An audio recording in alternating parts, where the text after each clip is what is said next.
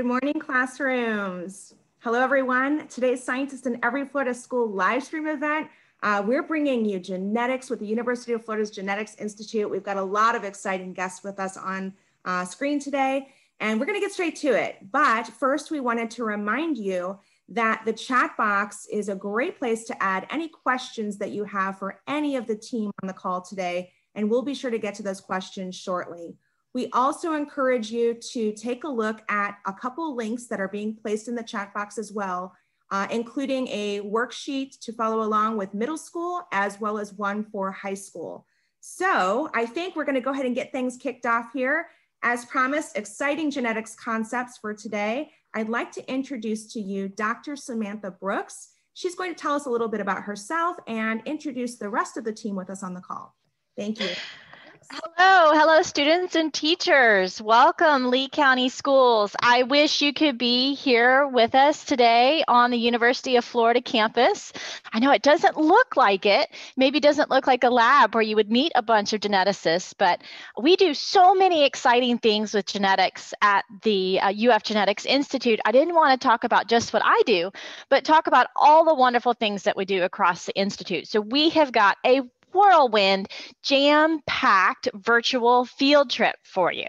So, my name is Dr. Samantha Brooks. I am a professor here and um, I use genetics to study large animals like my friend Patty here, Patty the horse. I'll talk a little bit more about him when my turn comes around. But for now, I'm going to turn it over to our team. So I brought with me five more scientists to talk to you guys about genetics. So it includes our academic specialist, Dr. Brittany Hollister, and four of our fantastic graduate students. So before we get into some of our example research studies, I'm going to hand you over to Luke Chandler, who's going to tell you a little bit of a review on basic genetics and show you how he uses genetics in his research.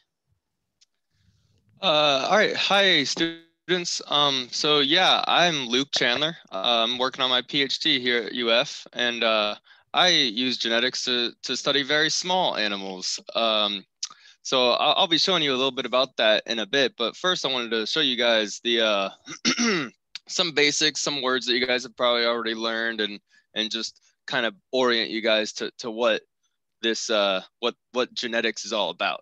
Um, so this is just a short little clip, a video clip that I'm to kind of walk you through a little. So this is just a cell. You know, you guys are probably learning about this, and if you're starting to take biology, and there's some common terms that you guys know. You know, membrane is the enclosure um, cytoplasm it's just the fluid within the cell and you know that good old powerhouse of the cell there. Um, and and yeah if you don't know these terms that's fine. You know maybe you'll learn about them in, in, in the near future far future who knows? And uh, but anyway so the nucleus that's where i'm going to hone in. So that's where the uh, the actual genes are located. So every cell has these nucleus and genes are stretched in these long lines of chromatin and they're wrapped around proteins that uh, you know condenses them and makes them fit in that tiny little space. But when you unwind them, what you get is a huge strand of, of DNA that has several of these little gene locations. So here's a little picture kind of walking you through what that video just showed. You know, every animal, every living thing has cells. You can zoom in and find them. And that those little red dots within within the cell category, those are the nucleuses. And uh, if you zoom into that even further, you find chromosomes. You can zoom into that even further and find find within your DNA, uh, within those long stretches of DNA, these genes. Um, and so, what is a gene? A gene is is basically a, a long stretch of of what we call nucleic acids. So those are just just you can think of them as chemicals, but the the key here is that there's four of them. Um, four only four chemicals, amino or um, nucleic acids, and we label them with these letters G, T, C, and A. And what those mean isn't really important. It's just to know that they're different. And it basically they make this long code that in, that is like the instruction manual. It's the blueprints for how uh, proteins get encoded. Um, so that's going to be kind of the bare bones basics about what everyone in our program looks at. We all look at some form of genetics, which is going to relate to these bottom codes. Um, so if you want to go to the next slide, uh, so this is the the like central dogma, the the main holy grail of of biology, um, how how we all orient ourselves. So you have your DNA, your basic genes, and from them through that comp through that long code, you get a complicated series of chemical reactions, and you get your proteins, and then through a whole another complicated set of combinations and folding, you get your traits or your phenotypes. And so these are the things that you actually can can detect. So you have, you know, five fingers or maybe your hair color or, or how straight your hair is or something like that. All of those are phenotypes or traits. And uh, I'm going to go a little bit into what I've been doing, which is studying these worms. So on the bottom right corner, you can see these little tiny microscopic worms. So a full adult is only about a one millimeter big, barely fits in between your fingernails.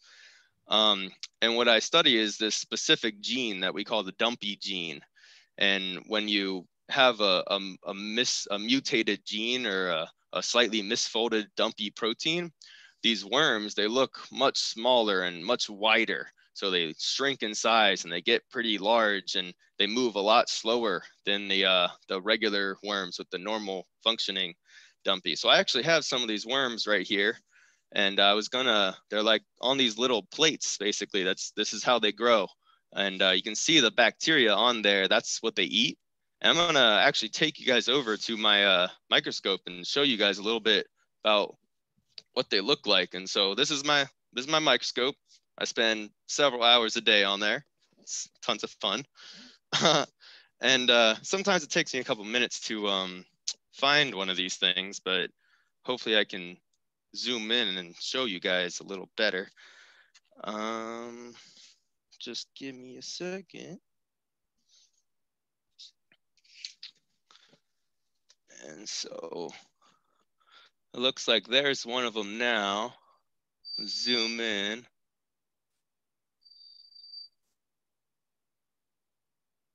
So this is a dumpy worm and you can see he's not even really moving at all. Um, yeah, you guys can see that.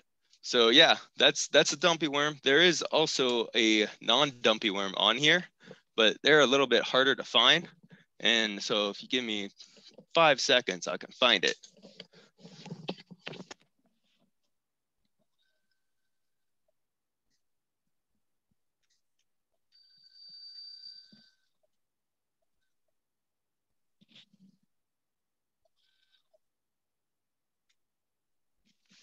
this one is going to be your non-dumpy worm.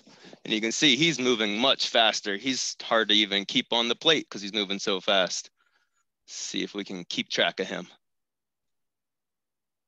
So there he is slithering across there and he's just doing his thing, moving right along. So yeah, that's a little bit about what I look at, what I what I do most of the days. And uh, I will uh, go ahead and leave leave the worms alone for now and uh, jump to the next thing. So a little bit about why this is important, I guess, right? So, so why do I look at worms?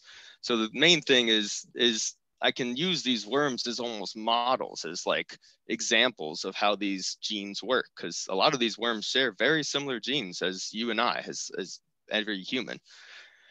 And uh, you know, you can track these dream these genes throughout their generations and and the traits associated with the genes if they if they can be tracked in the in the same like generations, the same children that get born, um, then you can you can really tell what gene is associated with like a certain disease. So diseases are just going to be you know a, another type of phenotype. Um, so I have an example of of a you know a kind of Punnett square, a, a certain form of inheritance, and uh, this is this is with the dumpy gene. Um, so uh, the capital DY and the, is going to be the the non-dumpy version of the gene, and the lowercase dy is going to be your dumpy version. And the main point of this Punnett square is to address to show you guys the uh, difference between dominant and recessive genes. So the the dumpy version is going to be a recessive trait, whereas the non-dumpy version is going to be a dominant trait. So if you have like a kind of cross like this, where you have four, say, say it's four children, which are in these four squares, you can have the, uh, the, uh, three that have D, the capital DYs, those are all going to be normal functioning, normal moving worms. And you can see down in the bottom, you have two videos. That one on the bottom right, it is a video, it is moving, even though it doesn't look like it's moving very fast, but it's definitely moving because um, it's the one that is going to be dumpy. So it has two lowercase dy's and it is has that recessive trait. So that's just one form of inheritance. And I'm going to kick it back to Dr. Brooks. She's going to talk about another form. Fantastic. Thank you, Luke. So um, my name is Dr. Brooks, and if you all want to switch to my camera so you can see me instead of my slide just for a minute, um, I told you I work with large uh, animals, mostly large mammals, and I brought a friend here today to help. This is Mr. Patty. Patty is a young horse who's in our UF uh, teaching program. So in terms of his development, he's actually about the same age as a middle school student. So if he starts acting up, we'll know why, right? Uh, so Patty is special because he has a trait that is a great example of another type of inheritance called incomplete dominance. So let me step back here so you can see Mr. Patty showing off his handsome coat color. He has a coat color called palomino, which is the result of an allele that we call cream. So the non-cream version of that allele looks like this. This is Miss Reba. Miss Reba is a spicy redhead, true to her name, of course. But without that trait, this is the coat color you would see a nice, deep, rich orange. She was a little bit of trouble this morning, so she stayed in the stall. We make one change in the genome and we get this lovely yellow color, just like Patty right here. If you change two copies, it looks even different. So if it were dominant, one copy and two copies would look the same. But in this case, two copies looks different. So let's go back to my slide just for a second and I'll show you what the Punnett square looks like. Let me bring my slide back up. I'm gonna shut the door on little Reba here before she causes some trouble. So um, here's our Punnett square and in an incompletely dominant trait, two copies has almost twice the phenotype. So this particular allele just dilutes his coat color from that lovely orange to this pretty golden color. And he's a little bleached out because it's Florida and he's got his long winter coat. If he had two copies, they call them cream and they look just like vanilla ice cream. They are very, very light in color. So it's sort of like one allele plus two alleles makes double the effect. That's how you can remember your incomplete dominance. So if you're thinking about your modes of inheritance, you can remember Patty, he's going to be camera shy now. He says, no, I don't think I'm going to, don't think I'm going to talk to the students. I use genetics to study all sorts of traits in horses, including body size, behavior, and even some diseases. And there are some diseases that horses get due to genetics that people also get. And horses are big diurnal mammals. They're awake during the day and uh, they get a lot of things like some diabetes, things, conditions similar to diabetes in people. So they are also an excellent model for doing science. All right, so let's see what other kind of traits we can investigate. I'm gonna turn you over now to another member of our team.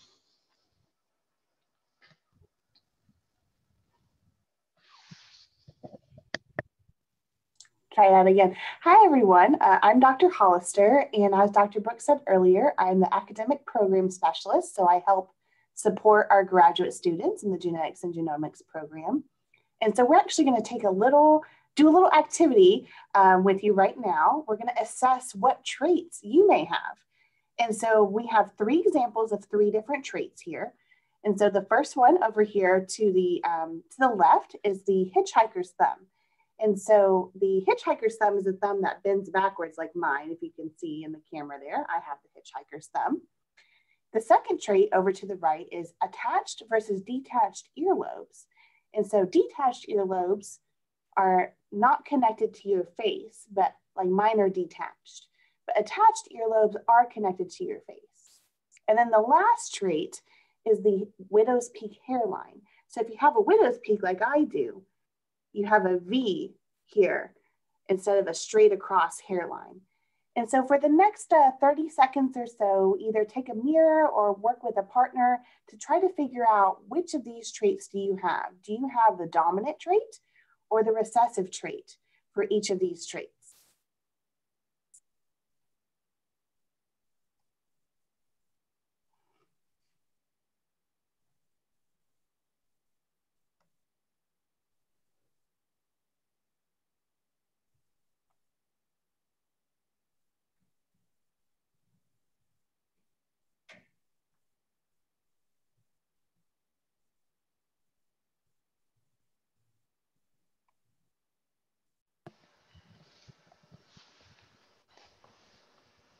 All right, so if you didn't finish, that's okay. We're not gonna be able to discuss the results from your class today, but we're gonna send your teachers an activity so that they can discuss the results to see which traits are more common among your classmates or which are more rare among your classmates. Um, so we'll, we'll make sure to send a follow-up to your teachers so you can learn a little bit more about those traits. Oops. Um, so right now we're going to switch gears just a little bit and talk uh, more about why should we care about all this genetic stuff. So what's what's happening with research right now at UF? Um, some of the things that are happening, and why should you care about this? So I'm going to turn it over to one of our graduate students, another one of our graduate students, Paul. Hi everyone, uh, my name is Paul Wassel, and I use genetics to study a specific archaea uh, called Haloferax volcanii uh, archaea are actually a third domain of life. And uh, the picture here depicts actually the power of archaea and where they can live. Um, that plant you see actually has uh, salt buildup on it and the water around it is extremely salty. You would think nothing could live there with all that salt, especially building up on the dead plant that you see. But actually, archaea are able to thrive in these extreme environments. And specifically Haloferax volcanii has a red pigmentation. Therefore, there's that red color in that water that almost gives it kind of a pinkish hue. Uh, it creates some really beautiful scenery. And you can see this across nature with uh, archaea as well. But, you know, in, in my next slide, I'm going to show um, why do we care about archaea? Um, I guess not only is it because it creates some beautiful environments, but scientists have also um, studied archaea because they kind of fall in between bacteria and eukaryotes when it comes to their genetic information. So archaea are actually um, more similar to eukaryotes than bacteria like E. coli or something that you may have heard of um, strep. Um, if you get strep throat, it's actually a bacteria. So um, archaea are kind of the middle ground between that and eukaryotes, eukaryotes being plants, humans, ourselves, um, funguses, um, all kinds of things like that. And so it creates a simpler organism that we can use uh, to study the uh, eukaryotes, which are us, humans and plants. So how do archaea survive in extreme conditions? Well, on the left side here, you can see two different proteins. And if you imagine that the one on the left is, let's say, a human protein, and the one on the right is an archaeal protein. Um, just using this as an example, the archaeal protein has differences. As you can see, it's smaller and a little bit in a different shape to then survive in these extreme conditions. But what that causes as well, interestingly, interestingly enough, um, is um, archaeal proteins can actually not function in normal environments. So archaea couldn't really survive. For example, Haloferax volcanii can't survive unless it's in those high salt conditions, which creates an interesting balance because as you can see on the right in this deep sea thermal vent, there's actually a ton of archaea that live around these vents in these very cold, deep, dark ocean environments. And, but they couldn't survive on the surface of the ocean. So it's extremely interesting the balance between how their genes encode these proteins that then are able to function in these extreme environments, but aren't able to function in just normal conditions that we all can survive in. So life is an extreme balance of the two. And it's it's really cool to learn more about how all these things can survive in these conditions. Um, so next time you're out in nature, if you're out looking at a you know pond in the middle of you know where you don't really see any life, really think about what the microscopic organisms are in there and really think about how beautiful some of these organisms can make things. These are all archaeal environments here, and a lot of the color you see is actually because of the little microorganisms that are found in all of these areas. So uh, now I'm going to pass it over to Sadim, who's going to talk a little bit more about uh, kind of what we use genetics for in humans, as well as a little bit about COVID-19. So, Sadim. Thank you, Paul.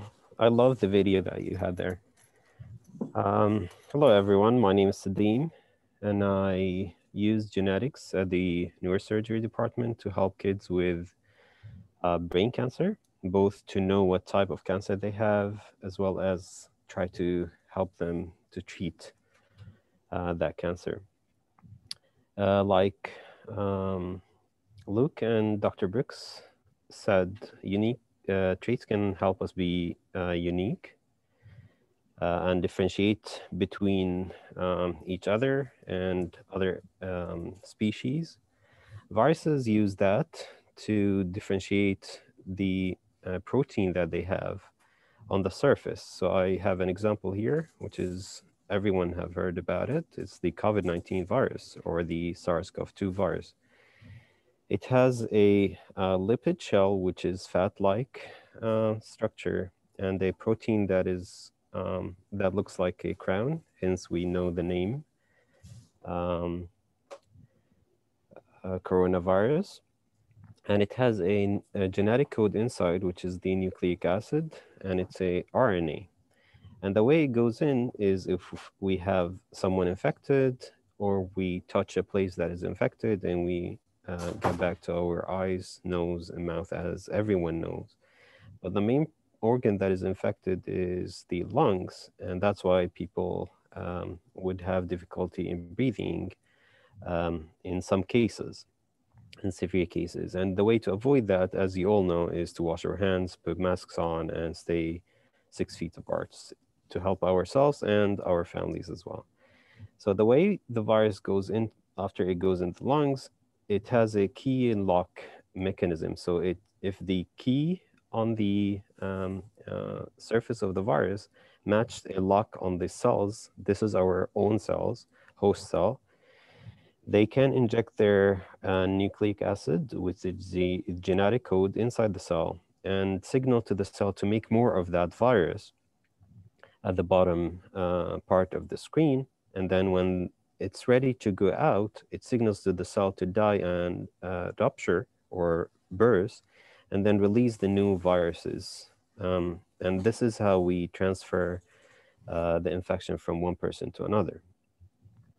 So what we can do as scientists and geneticists is to work on uh, the mRNA of the spike protein. So this is not the virus. We're working on a vaccine here in the uh, University of Florida and all around the world. There are a lot of people that are working and I myself took it um, two weeks ago. Um, so what we do is we make it in the lab without the virus. It's a, just a signal, which is called the messenger RNA inside a lipid. We took it to the engineering department and geneticists there help us make it. And we inject it just in the shoulder, just like any other vaccine. And what it helps us is sends a signal to the cells to make proteins that are similar to the virus. And after these proteins are um, in the body, there comes the general of the army, I like to call it. It's called the antigen presenting cells or the APCs, present these proteins to the T helper cells. And the T helper cells, what they do, which are the immune cells in the body, they're the connection between the general of the army and the army. And they shout out the signal. They tell every cell that, hey, there's a foreign body, which is the virus that's going to come in, after a few days, few weeks, few months, be careful. So the blue side of the army, which is the B cells, they generate antibodies to block that protein from attaching to the cells. And the gray cells, they basically engulf and eat the viruses. For that, we use a lot of um, uh, technology and we have a lot of collaborators. We have people, geneticists from the um, vet uh, veterinary medicine school. We have vet oncologists. We have pediatric oncologists. We have AI and engineering, neurosurgeons. We have bioinformatics, as well as um, uh, scientists from uh, the neurosurgery department. And by that, I take it to uh, to tell you more how to become a scientist. Hello, everyone. My name is Franjo, and I come from Bosnia and Herzegovina. I'm a PhD student in genetics and genomics at the University of Florida. I work in the field of psychiatric and statistical genetics. I study genetic causes of Tourette syndrome and OCD. But today I'll talk to you about what it takes to become a scientist and how can you become one. I will focus on careers in genetics in particular because genetics is the coolest. You become a geneticist by going to school. First, you'll finish high school, then college, then you'll do some graduate school, like master's degree or a PhD degree. So you must wonder what kind of people can become scientists? Well, anyone, everyone, all of you, as long as you want to. All you need to have is curiosity, creativity, and persistence. Straight A's are not a must, but they do not hurt. Geneticists do all kinds of things, and you can find your comfort zone. Some geneticists spend time in a lab. They study different kinds of organisms and their DNA. Some of us work with human cells and human DNA. Some of us work with animals such as horses, flies, worms, or mice. Some of us work with different types of plants like flowers and trees. And some of us study single cell organisms such as bacteria and archaea. Some geneticists work in a hospital. Here, for example, we can track how patients react to certain medication and then look at their DNA and figure out if their DNA, in fact, affects how they respond to the medication.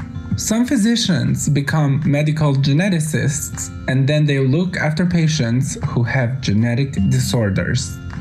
Some of us enjoy computers, math, and statistics, so we become computational and statistical geneticists. And all the work we do is on a computer, analyzing tons and tons of data. Some geneticists enjoy teaching, so they become teachers in high schools and colleges. You can spend your time studying different animals in their natural habitats, like ecological geneticists. Or you can study different organisms over the time of Earth's history, like Ice Age, like evolutionary geneticists. You can even study space stuff. Genetics is the coolest. But no matter what kind of genetics you do, all of us love to get together around the world with other geneticists and share the science. Hi everyone, and thank you for watching my little animation. My name is Franjo, and please make sure to ask all the questions you have about how to become a geneticist and what do geneticists do. All right, bye. Hello, Fantastic. Everyone. Well, thanks to Franjo for sending the animation. He's actually in class this morning, but we'll get to see him this afternoon. I hope you all have enjoyed our virtual field trip of all the amazing, well, not all the amazing things, but a sampling of the things that we do at the UF Genetics Institute. We have more than 220 faculty, all using genetics to study various different exciting things about science and biology, like my friend Patty here.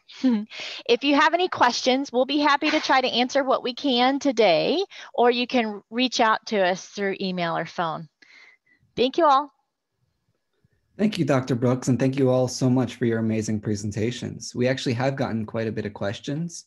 Um, and I'm actually going to start with you, Dr. Brooks. Our first question for you is isn't it really challenging to be an expert on the genetics on so many different types of large animals? you know, it is tough. Um, I really, I specialize a lot on horses, so that helps. Um, they're a little easier than some of the other organisms I work on, like camels and some specific gazelles, um, because they're domesticated, and so we tend to have them around, and it's it's a little bit easier to work with our equine science program here to come out and look at different traits in these horses, like their height and their color.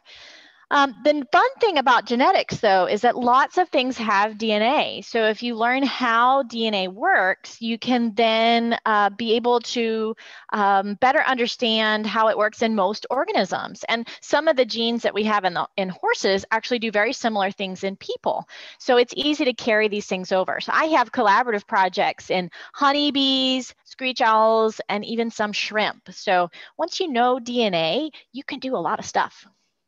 Thank you, Dr. Brooks. Our next question is for Dr. Hollister. I had a student write in and say, Hi, my name is Alex and I'm in fourth grade. And they said, um, Is it good or bad if I have more dominant or recessive traits? Hi, Alex. Um, so it's actually neither. So it's not good or bad, it's just dominant or recessive. We say that because, as Luke was talking about, um, if you have like one copy or two copies, of a dominant trait, that means that you see that trait when you look at your phenotype or your physical appearance. And so a recessive one or a recessive trait just means that you have to have those two copies in order to be able to see that trait in your physical appearance. And so it's not good or bad, it's just how many copies of that uh, trait variant or genetic variant do you have? So, yeah, either one is okay. Thank you so much. Our next question is for Sadim. Um, we have a question from Melody that says, does the coronavirus have a lysogenic cycle like chickenpox virus? Can it lay dormant in the cell or does it have more of a lytic cycle? I love the question. I think it's a graduate student question more than a middle school question. So, um, and it the the cool thing about the coronavirus is once it gets in um, it shows an effect. Uh, whether it's um, whether it's um, um latent or no, that's too early to um, um, mention. Uh, but what, what I can say is that once it goes in, there's no latency or a lag that we see. Uh, but the nice thing is that some people are symptomatic, some people are not symptomatic. Uh, that's the only difference that we can uh, get. And we do that, we do uh, know by doing a PCR uh, reaction and test the patients and see if they have it or no. But that's a great question. Thank you. And our last question this morning is going to um, for Luke. And one student's asking, what do you hope to find by looking at worms? Uh, that's a pretty loaded question. I guess I uh, there, there's there's really like kind of two kinds of main research questions. There's like uh, targeted questions and like discovery based questions. So really, what I was looking for was any gene associated with a specific phenotype with a certain disease. I have I have these worms that uh, you know they're pretty sickly. They're they don't do they don't live as longer. They don't they're not able to handle as much stress. And I wanted to figure out what genes are responsible for for causing that state. And so I have, you know, dozens and dozens of experiments that I run to tease apart what specific gene is causing this this kind of sickly state. Thank you, Luke, and thank you all for teaching us so much uh, this morning about genetics. We really appreciate your time. Uh, again, taking the time out of your schedule to be here with us. At this point, I'm going to turn things over to Stephanie to wrap things up. Thanks, Brian. And thank you everyone for joining us today on this exciting call to learn more about genetics from a variety of different uh, scientists at the University of Florida's Genetics Institute. You can learn more about the free programming scientists in every Florida school has uh, by visiting our website and our social media, um, uh, YouTube, Facebook, and Instagram and Twitter. So teachers, we encourage you to request an individual scientist visit for your classroom by clicking the link we've put in the chat box. And we'll be back today with this great genetics program and team again at 2.30 p.m. today, should you wish to join with another classroom. We look forward to bringing you more live stream as well. On January 26th, we'll be back at 10.30 and 2.30 p.m. to talk about plate tectonics. So we will see you later today or next time. Have a great day, everybody, and bye-bye.